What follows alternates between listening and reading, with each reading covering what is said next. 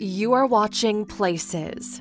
Every Tuesday, we bring you an insightful look into fascinating events from all around the world. Today, we're looking at why rich Russian and Chinese pregnant women travel to the US to give birth. Welcome to alux.com, the place where future billionaires come to get inspired. Hello, Aluxers, and welcome back. There's a really interesting phenomenon we've observed happening with more and more rich people, especially Chinese and Russian elites. By the end of this video, you'll understand why everybody's going on holiday in Florida, and why you might want to do the same when the time is right. Introduction the world as we know it has changed, with more people seeking the option to be citizens of the world, of free travel, and access to worldwide opportunities. But securing a visa in some countries can prove to be really expensive and time consuming. For example, securing an investor visa in the US will set you back around $500,000, and it's a very complex and troublesome process, and obtaining a visa is almost impossible if you don't have a relative who's already a citizen of the country. But what if there was a way to fast track all that paperwork and secure yourself the green card and access to free travel?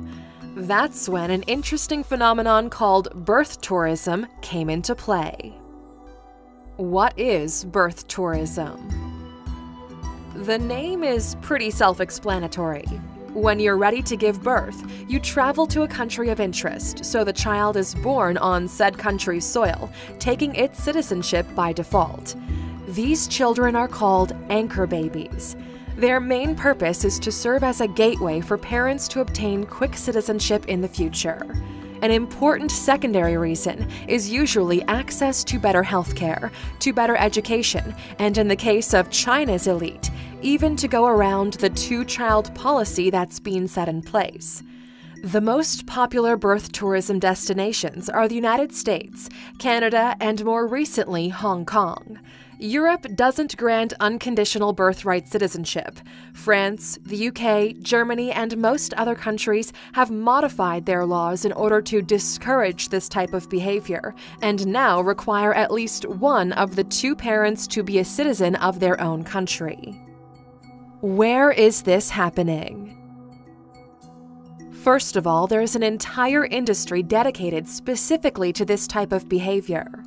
Florida is by far the most popular destination for birth tourism. For starters, the weather is lovely and everything is already waiting for you to deliver your American baby.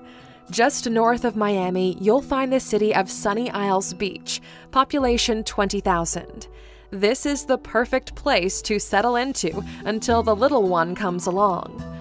Sunny Isles Beach earned itself the nickname Little Moscow sometime around 2010 when beauty salons, Russian themed restaurants, and supermarkets started popping up to accommodate the influx of Russian tourists who are coming over.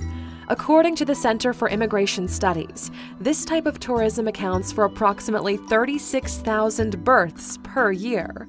Statistically speaking, on every flight from Moscow to Miami, there's at least one soon to be mother.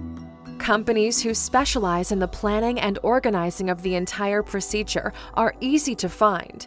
A quick Google search renders plenty of websites who offer this type of service, most of them with the homepage in either Russian or Chinese languages as their two main demographics. Because most airline companies will not allow mothers to fly in the final months of pregnancy, you have to think of it as a prolonged vacation, because you're going to be in the country for at least a couple of months. That's why entire packages have been put in place. How much does this cost? From what we were able to find, the prices vary between a minimum of $10,000 upwards to $100,000. So, what does six figures buy you? It's an all inclusive deal. The most popular packages make sure all logistical matters are taken care of. Not only is accommodation provided, but all medical and legal counseling as well as translation assistance is ensured. The most popular package costs around $30,000 and buys you three months of services. Depending on the level of comfort you're looking for, the sky is the limit, with packages in the six figure range having a fleet of nannies and even luxury shopping lined up for you upon arrival. Speaking of international opportunities, videos like this one wouldn't be possible without you guys and great companies that choose to support our efforts. We're living in the most connected time in history, and the entire world can be your marketplace. It's never been easier to set up an online store. If you go to alux.com slash sell and sign up, you can have your online store up and running by the end of the day, thanks to the amazing technology Shopify has to offer. Even better, because you're a member of the Alux community, you get to try everything the platform has to offer for free for the first two weeks. If you've been waiting to start a new business and leverage the power of the internet in your favor, this is the sign you've been looking for. How is this legal? Birth tourism is legal at this point because of its fundamental ties to the 14th Amendment, which corrected an earlier Supreme Court ruling and provides citizenship to everyone born or naturalized in the U.S birthright citizenship was introduced into the U.S. Constitution back in 1868 when the 14th Amendment was passed, at last granting citizenship to former slaves who were born in the U.S. but denied citizenship. In 1898, they incorporated the legal concept of jus soli, or right of soil, which grants citizenship to anyone born on the soil of the United States. There's been a series of discussions on the topic of birth tourism for years now, but there are always two sides of the coin. The negative. Most developed countries are trying to keep the number of immigrants under control, and this technically serves as a loophole. For the Russians and the Chinese, this is almost like an insurance product. In 21 years, the newborn child will be able to sponsor citizenship to everyone in his immediate family. You can see how there's already an outrage about this technicality. Toward the end of 2018, President Trump spoke against the 14th Amendment, even calling it for it to be shut down through an executive order. He even tweeted there are grounds to reinterpret the law on specific wording. But many scholars came against the president, stating that trying to reinterpret the law would cause more harm than good and could have negative effects on travel as a whole. The positive.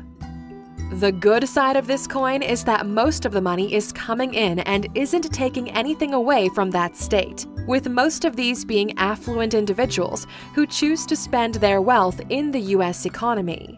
Even more so, any U.S. citizen is responsible to pay U.S. taxes, no matter where they live in the world. So there's a tax revenue stream coming in from people who just want to have the U.S. passport.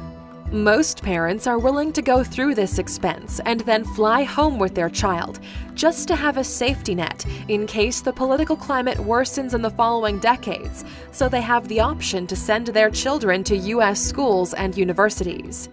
This comes at a time where more and more Americans are choosing to leave the country and renounce their citizenship just to escape the big taxes the state imposes on them.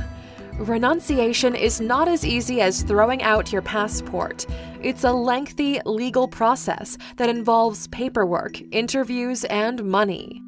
Because of the increase in the number of U.S. citizens seeking renunciation, the U.S. Department of State raised the fee for renunciation from $450 to $2,350, more than 20 times the average cost in other high income countries. The future. Social media ads for birth tourism are all over the place in targeted demographics, with many worrying that this window of opportunity might close soon. The irony is, the news of active measures against the practice have only driven the demand even more, with most agencies seeing an influx of customers. Many directors are saying Trump is good for business. We're seeing a rise in the level of wealth in the middle class, and more and more people are looking to relocate and take advantage of international opportunities. The problem with birth tourism is that it's a double edged sword, and nations need to tread carefully around it. In the last 24 months, there's been a series of crackdowns on local travel agencies offering this type of service to wealthy foreigners. But apart from checking to see if everything is done by the book, they have no legal reasons to close them down.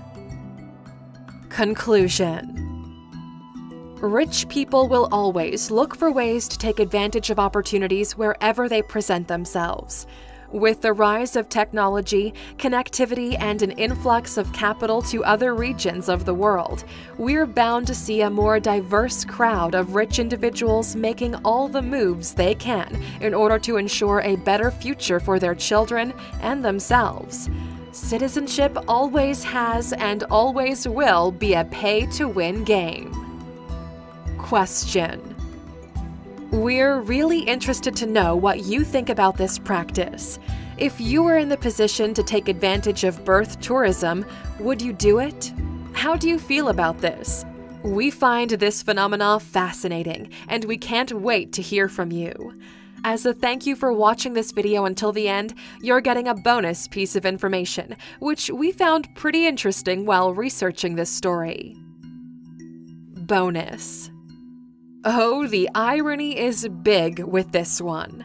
The most popular hotels for birth tourism in Sunny Isles happen to be owned by the one and only vocal advocate against this type of practice, President of the United States of America, Donald J. Trump. It just so happens that the Trump Towers are the go to luxury accommodation for Chinese and Russian travelers who are looking to enjoy themselves while waiting to give birth. Thank you for spending some time with us, Aluxers. Make sure to like and subscribe so you never miss another video. We also handpicked these videos, which we recommend you watch next. Thank you for being an Aluxer, and we'll see you back tomorrow.